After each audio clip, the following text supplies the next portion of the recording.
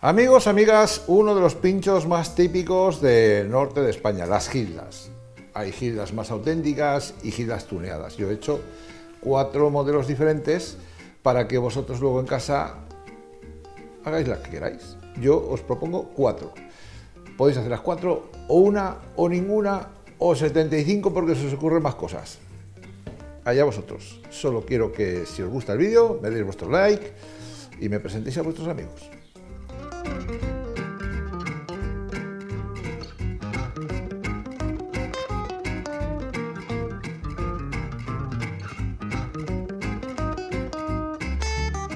Vamos a cocer unos huevitos de codorniz. Una cazuela con agua, un puñadito de sal, sin más. Y ponemos los huevos, una docenita, que nos van a servir para hacer unas gildas con huevito de codorniz. Vamos a hacer pinchitos frescos para el verano. De estas cosas que dices, Oye, mira, vamos a poner unas gildas aquí con no sé qué de aperitivo. Pues ya está, genial. Vas a ver tú qué cosa más fácil. ¿eh? ¿Con qué cosa más fácil vamos a vestir nuestra mesa de gala? Ahí queda eso. Bueno, pues esto en que hervir, seis minutitos. Y en seis minutitos los tenemos. Apagamos fuego. Y nada, esto ahora los pongo los voy a quitar agua caliente, evidentemente, los voy a refrescar con agua fría y los dejo a, temperar para luego hacer, las, ¿eh? hacer los pinchitos.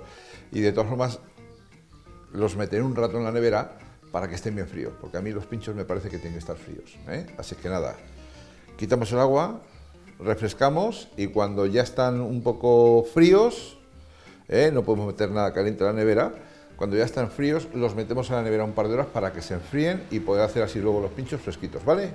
Nos vemos. Esto lleva una guindilla por gilda, ¿vale? Lo corto en dos trocitos, la guindilla, para que no sea excesivamente grande. Y así, pues eso.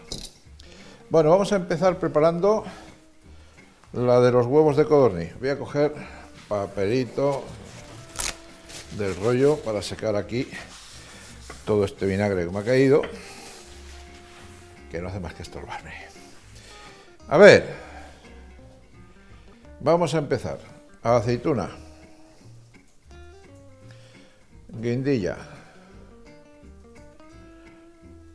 huevito de codorniz y guindilla. ¿Verdad que queda así, eh? ¿Verdad que queda mejor con otra aceituna? Ya tenemos una gilda. Venga, el primer modelo no tiene ninguna complicación y además no nos manchamos ni las manos. Voy a poner este arriba, que es más apropiado. Venga, a ver. Algunos huevos de codorniz pues se me han ya me imagino que os dais cuenta que esto, pelarlos no es fácil. Y algunos se me ha roto un poquito, pero no los voy a tirar. ¿No te parece? ¿Qué es una gilda? Pues mira, ya os lo voy a explicar rápidamente. Una gilda se podría resumir así. Aceitunas y guindillas.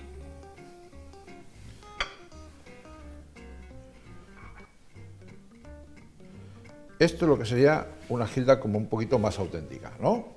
Hombre, puedes poner dos aceitunas y dos trocitos de guindilla en el medio, eso ya en tu casa halas como, como, te, como te convenga. ¿Que tienes un palillo más corto? Pues oye, pues ponle, pues mira, lo que estoy diciendo. Pones así. En lugar de un palillo más corto, lo ponemos más abajo y ya está. Pum, pues ya está. Otra gilda.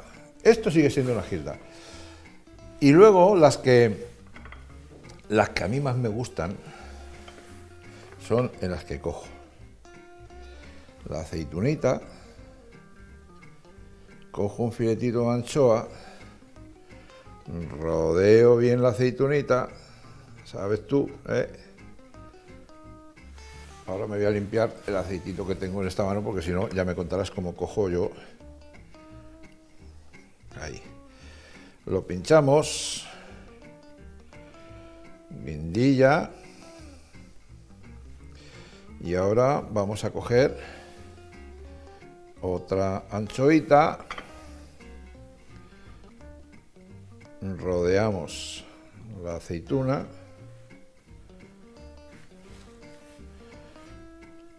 Tenemos el papel a mano para ir limpiándonos la grasa de la anchoa. ¿eh? Y otra.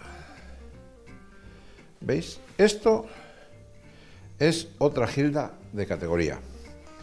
Y ya si queremos, si queremos ir a saco, esta que os voy a explicar. Esta que os voy a explicar, ya veréis. Cogemos el huevito de codorniz, cogemos la misma anchoita con la que rodeábamos antes la aceituna y ahora ya directamente la clavamos. Guindilla. Más guindilla que le podía haber puesto aquí otro trocito. Y rematamos con aceituna.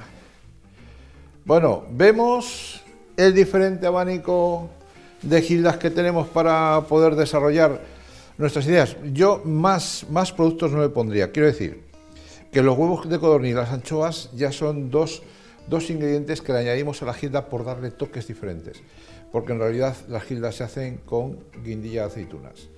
Yo voy a completar el, platito, porque yo creo que más o menos ya habéis visto lo que, lo que es, y luego ya os presento el final, ¿vale? Pues ya lo tenemos aquí. ¿Habéis visto qué platito hemos preparado? Y no me ha costado mucho, esto es 20, 25 minutos como mucho he preparado todo, ¿eh? El golpe definitivo. Si a ti te convence, lo haces. Si no, pues no pasa nada. Pero yo creo que esto necesita un chorrito de aceite de oliva virgen. Así por encima, porque le va a dar un punto importante. Y no cualquier aceite, ¿eh? un aceite de oliva virgen extra que le aporte sabor a nuestro pincho. Y ya está, así de sencillo. Ahora, ¿qué nos queda? Disfrutar con los tuyos yo con los míos y tú con los tuyos. Al final disfrutamos todos. Venga, ya me contarás.